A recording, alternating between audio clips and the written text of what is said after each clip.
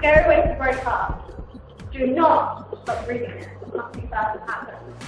One day, Sarah was walking home from school. Her boyfriend drove by and honked at her to get in. She got in his car and drove to the lake. Her boyfriend said he was going to tell something very important.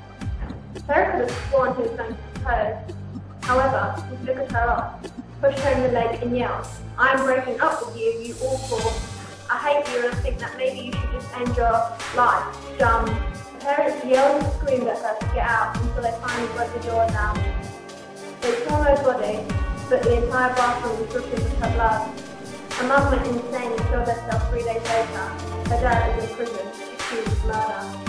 Later that week, Sarah's ex-boyfriend was taking a shower. When he came up, when she came from the drain, bloody, with a razor in her hand vibrations.